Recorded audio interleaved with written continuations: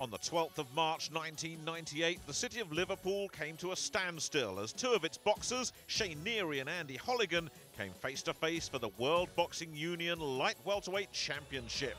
For Holligan, a second attempt at a world title and a much easier proposition than his first one.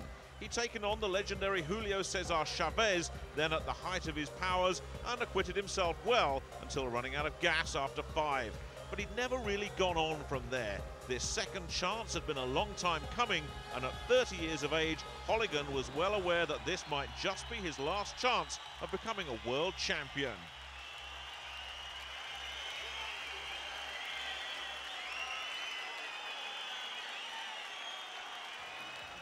Neary had arrived in Liverpool by way of Dublin and was known to his legion of admirers as the Shamrock Express. This the second defence since taking the title from Darryl Tyson. A man accustomed to flamboyant ring entrances, Neary had the support of Liverpool's Irish community firmly behind him, and the ringside experts made the 29-year-old champion a slight favourite. For the winner, bragging rights to the city of Liverpool and the prospect of future championship matches. A good old-fashioned backyard scrap in prospect Commentators for this one are Gareth Jones and Nicky Piper, and the MC is John McDonald. Here are the contestants. Fighting out of the blue corner, the challenger. He's wearing the black and gold trunks and weighing at 10 stone exactly. He brings a staggering 29 fight record, 27 wins, 19 by of knockout and only two defeats. He's a former British and Commonwealth light welterweight champion and former world title contender from the Phoenix Gym and the beautiful city of Liverpool, the Hunter, Andy Holligan.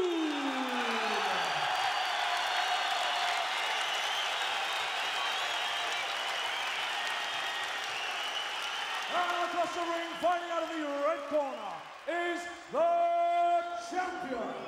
He's wearing a black trunks. He weighed in at 9 stone, 13 and 3 quarter pounds. He brings an undefeated professional record of 18 contests, 18 wins, 15 by way of knockout. He's the current undefeated World Boxing Union light welterweight oh champion of the world from the beautiful city of Liverpool and Dublin, making his second defense. Shea, the Shamrock Express, a new ring.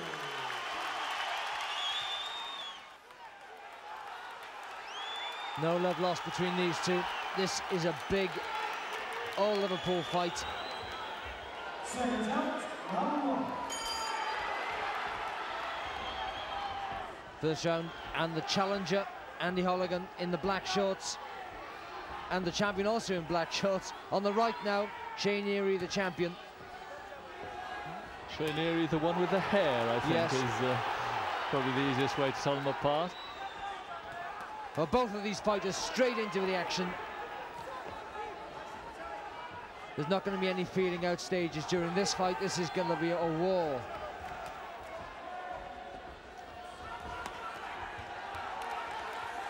As was uh, proved by the lengthy rendition of Ferry Across the Mersey, a sort of city anthem to go with the national anthem. This is more than a world title fight. More important than that is the championship of Liverpool. Good body punch from Holligan.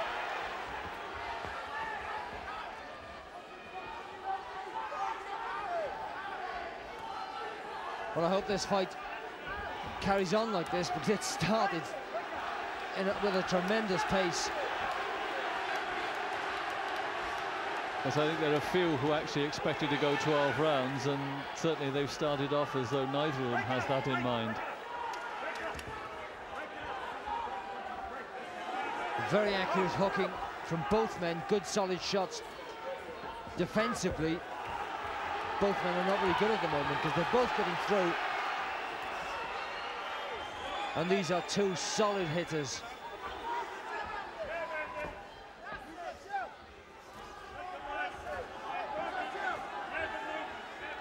Neary getting the jab through there well and that might be an important weapon in the course of this uh, contest. Holligan decides to start jabbing himself.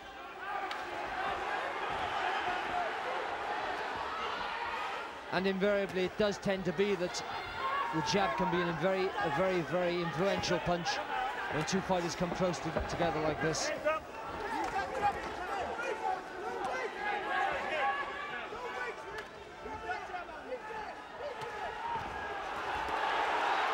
Good shots from Holligan. There's certainly no feeling out going on here. This is uh, straight down to business. Both of these men possess one-punch knockouts. This could be over at any stage.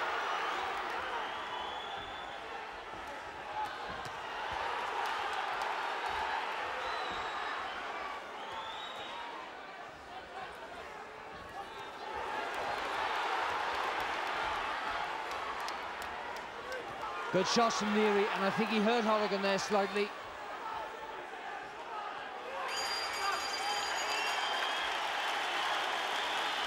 An amazing first round. Head's getting a bit dangerous there too. Yes, there's been a touch of the uh, rutting stags about them, and the referee's already spoken to both men, but I don't think they're going to take too much notice of him. There's uh, bragging rights on Merseyside at stake here. This is Neary's first fight for a year now. He's been champion since October 96, and it's with well, Holligan shown superb punching power, but back comes Neary. This was the style right the way through that first round. But look at the heads there, and that, I think, is going to cause a cut if they're not careful.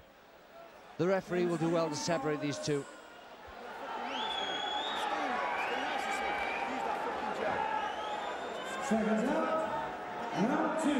Billy Graham being fairly emphatic about what he wants from Holligan there. Well, I heard the left jab.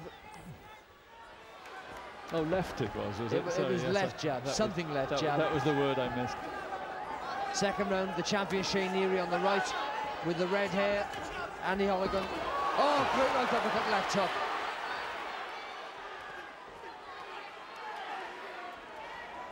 Taken very well by Holligan. As however he described it, I think uh, Graham had it right he does need to get that jab working because otherwise he's if he's letting Neary come in close he's going to to feel a few of these uh, these uppercuts.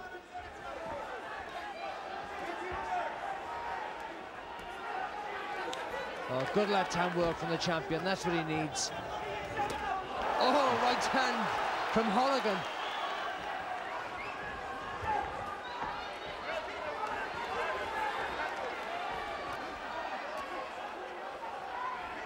This surely can't go on like this for much longer.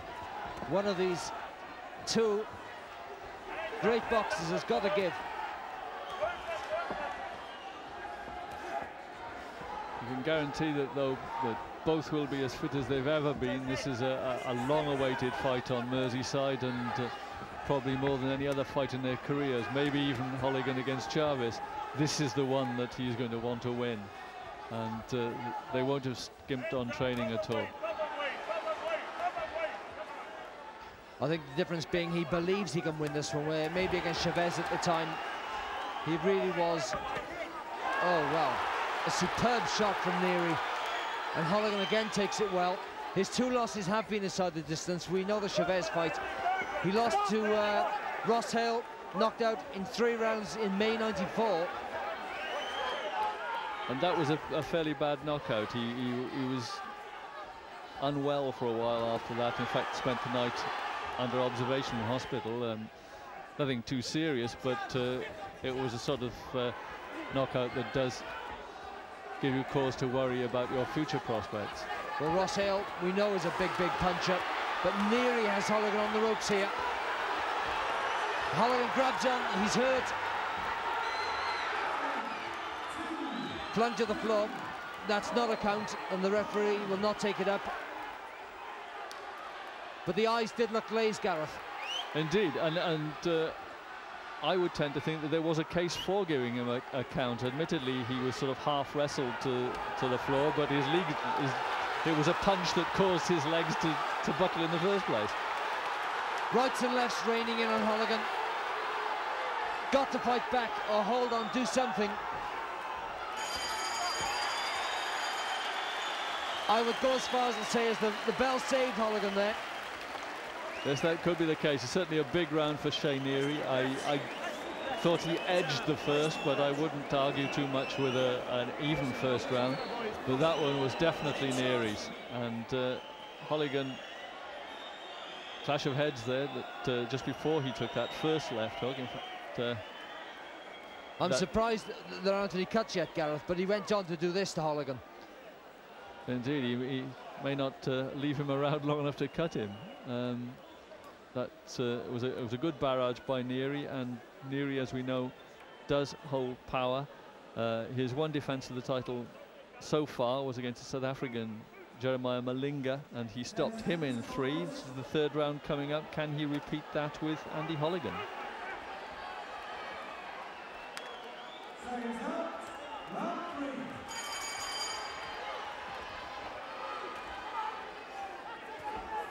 So third round. And Holligan, on the right of your picture now, was in desperate trouble that last round. He did well to make it through this. He's shown in the past, though, he's got great heart and fighting ability, too. Referee rightly telling them, but again, they go straight back in, ignoring him.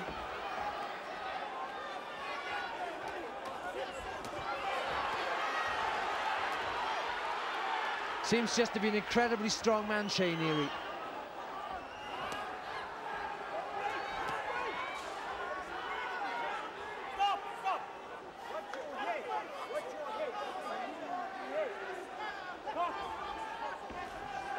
and straight back in and banging heads together. A, the gestures were probably easily comprehensible, but I'm not too sure that uh, two Scousers are going to understand the South African accent.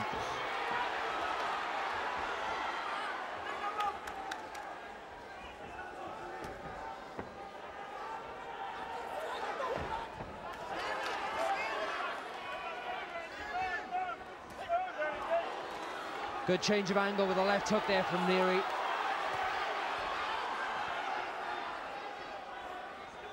Holligan seems short on ideas at the moment.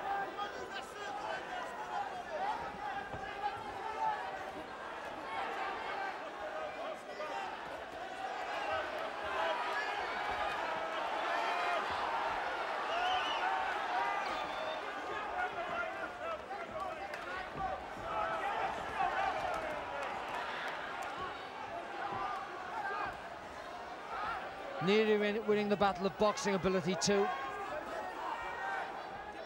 I think to a large extent he's being allowed to. When Neary throws punches, Holligan seems prepared to just wait for the storm to blow over before coming back with his own. Uh, and he's going to need to actually make Neary think about defending himself rather more than allow him to take the pace as he has been so far. Holligan certainly has the punching power to worry Neary and a good right there. Tremendous right hook. But back comes Holligan, he's taken that well. There were people that doubted his ability to take a good punch. But he's proving everybody wrong tonight. Whatever happens now, we know he can take a shot. Whether he can continue to take them, that's the question.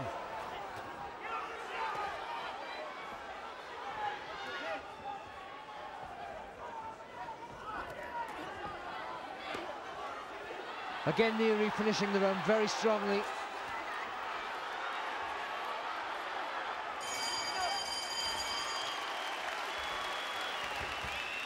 Tremendous. That's the only words to describe this.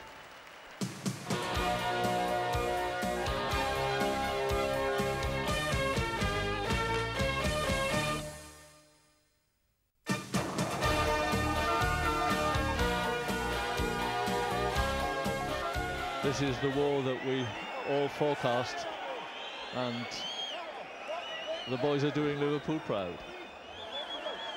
Billy Graham giving the instructions and now we're over to the champions corner the Shamrock Express and I think Andy Holligan, the hunter, is being hunted throughout these first three rounds, or has been so far. Good right hook again there. Oh, it's a tremendous shot, Gareth. It is the the opening created with the left and then overcomes the right before Holligan had time to react. And uh, although he's showed he's got a good chin, there must be a question mark about how long he can go on taking punches like that.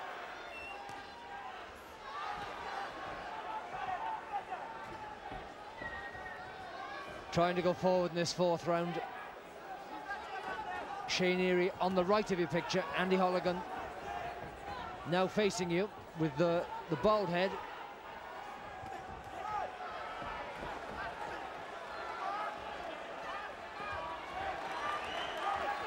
Holligan trying to go forward, but every now and then he's forced back, as he is being now. I think Neary the stronger all-round fighter.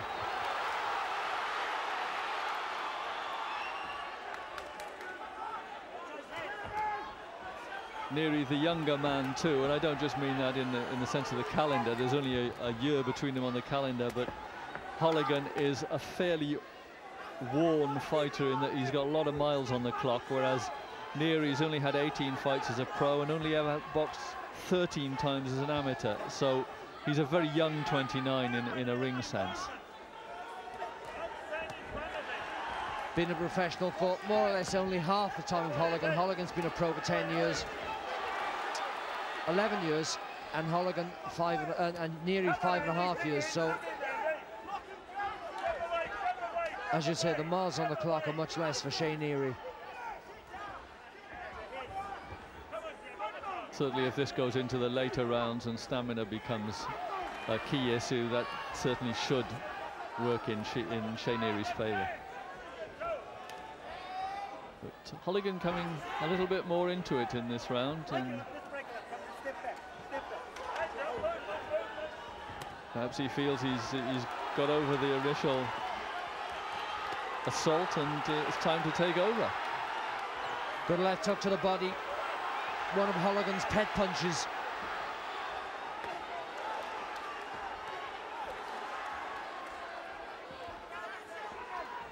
But Neary just looks a big all-round fighter. Much physically the stronger man looking.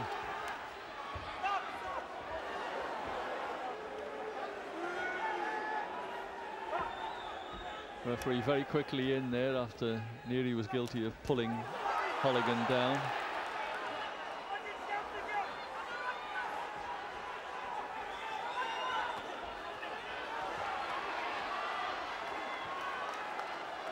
Good boxing to finish this fourth round from Shea Neary. It's been a better round for Holligan. It has. Neary started off well and he's finishing well, but Holligan quite possibly did enough in the intervening period to take the round on the judges' scorecard.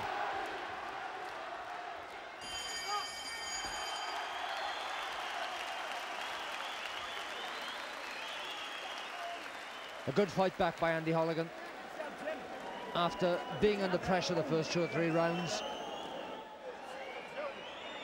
And surprisingly, none of them are cut yet.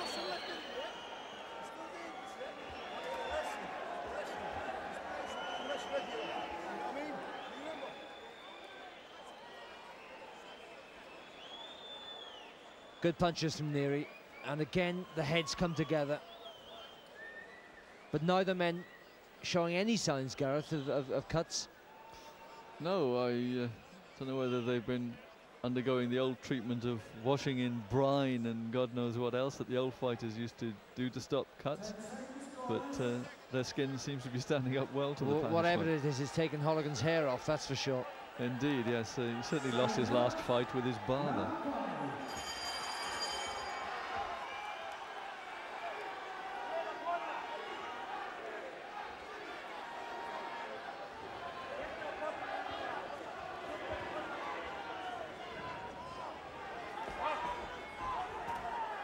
barber. Great left upper got the start. It caught Holligan by surprise.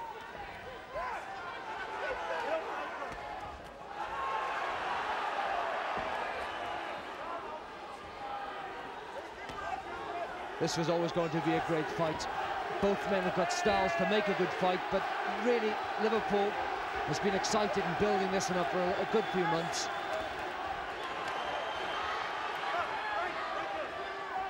Yes, it's a bit of a throwback to the old days at Liverpool Stadium, now sadly demolished. The graveyard of champions, they used to call it. And uh, since then, Liverpool's not really had a venue to hold major fights.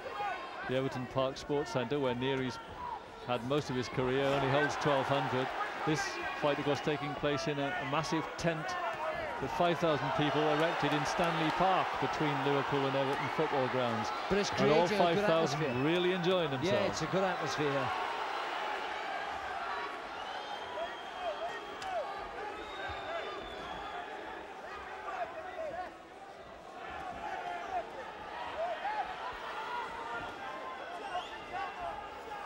Neary needs to go back to the jab, and I think I can hear some of the cornermen shouting jab. As the pace has slowed a little, which was pretty much inevitable.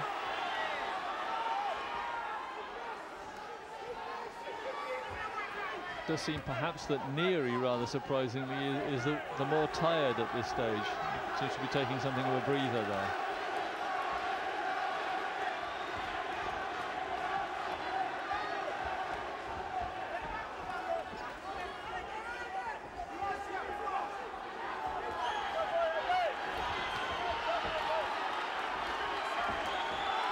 Good shots from Holligan.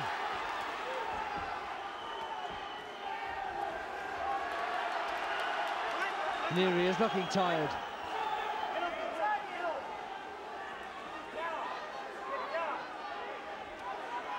The referee seems to be worried about uh, water in, in both corners and uh,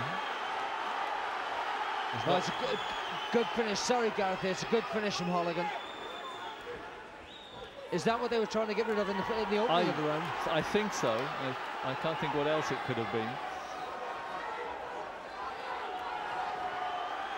Certainly a good round for Holligan, and whether this possibly is the turning uh, point of the fight that, uh, having withstood the early barrage, Holligan is now taking command. Certainly a few problems for the people in Shea Neary's corner here to sort out.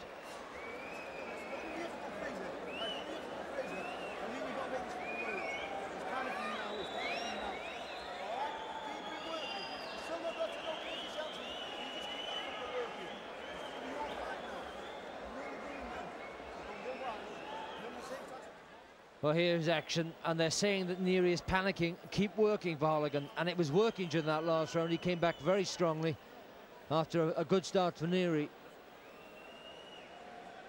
That's where Holligan had been letting Neary dictate the pace. In that round, he dictated it, and Neary found it difficult to maintain.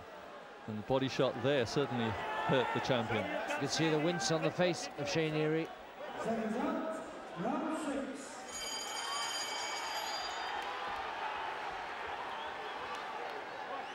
Sixth round, Andy Holligan on the right and the champion Shea Neary on the left. And Holligan's corner seemed very up for this round then. Keep it going, son, they said. They think he's doing well.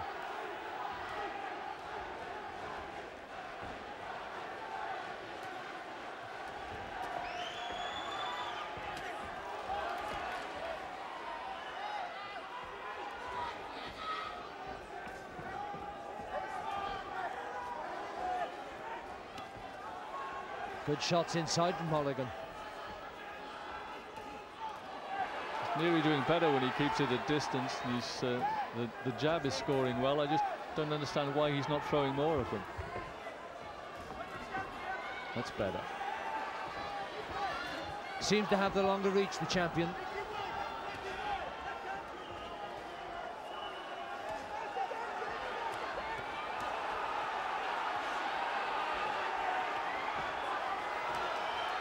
Well, this could end at any time with these two men putting everything into this fight. I think Neary is tiring Gareth, and that's why he's not keeping it long range. He seems to feel more comfortable in close, although it's not working for him. He's getting caught in Holligan on the attack. Oh, good uppercut, left hook from Holligan. And Neary coming back there. Gum shield out, is it? Looks like the the challenger's gum shield. And you He's can see the legs of Holligan, uh, uh, they're wobbling. And his eyes do look glazed again.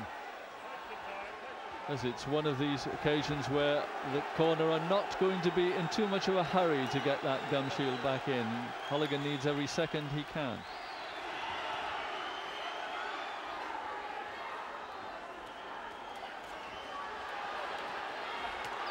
Oh, Neary putting everything into these punches now.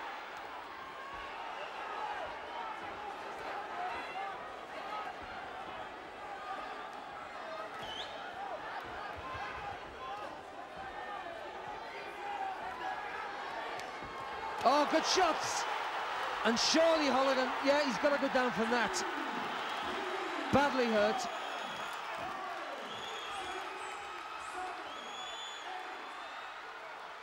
Can he make it through? There's plenty of time left in this round. Well, I've never seen that before. An eight on the floor and then another few seconds when he gets up to eight. yes, a long count beyond there. Oh, and the right hand hurts him. Left hook. This is going to be all over, surely.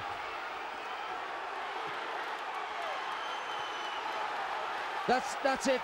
The referee stopped it, and rightly so.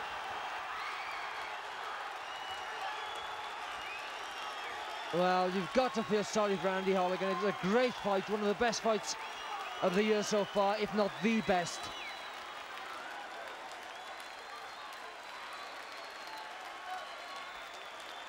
Haven't seen a fight as good as that for a long time, Gareth. No, it was a cracker, and uh, what made it so good, I think, was the fact that it, it swung one way and then the other. And uh, we went into that sixth round thinking that Holligan was getting on top, and Shea Neary's told us we were wrong. Well, as usual, there we see Andy Holligan. He's got a very bad swelling over the right eye. That came up during the last round. And here we see the action. Shea Neary knew his man was in trouble. Great, great hooks. And that's, we're getting, well, that was the first knockdown. And it was more the wise old head taking a count on one knee rather than actually being knocked over. Uh, you'll see that, that Holligan decides, look, I've got to get out of this blitz, and I'll go down on one knee and take the eight count. And here we see this must be the, the finish. Tremendous power. Look at the back on Shea Neary. There's not an ounce of fat on him, and he puts everything into every punch there. And the referee, I think, was just waiting, and that was it. All over. There's a perfectly timed intervention there by the South African referee, and uh, there was no point in Holligan taking any more. He wasn't throwing punches back. He was clearly badly hurt and would have got even more badly hurt had it been allowed to continue any longer. Very impressive finish by Shea Neary. All the tiredness of the previous round vanished once he had Holligan in trouble.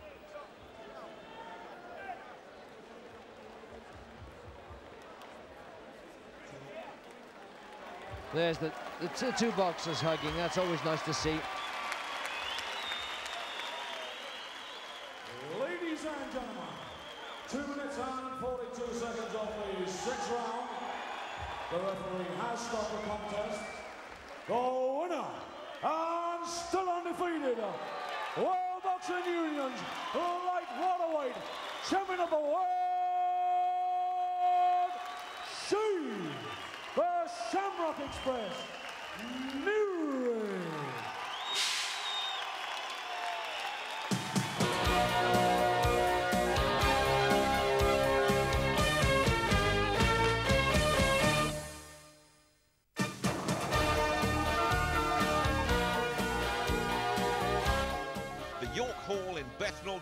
East London, November 1997. Colin Dunn and Zoltan Kalocsai from Hungary meeting for the vacant WBU Lightweight Championship. Local support firmly in favour of Dunn. Born in Liverpool, the man known as the Dynamo had relocated to London, where his no-nonsense, all-action style had won him a new army of admirers. Dunn had only suffered one loss in 24 fights, and he had the reputation for early finishes with 19 stoppage wins to his credit. His opponent was no mug either. Kalocsai was the reigning WBU Intercontinental Lightweight Champion and he'd mixed in good company. Like Dunn, he could punch, with 16 of his 18 victories coming inside the distance. The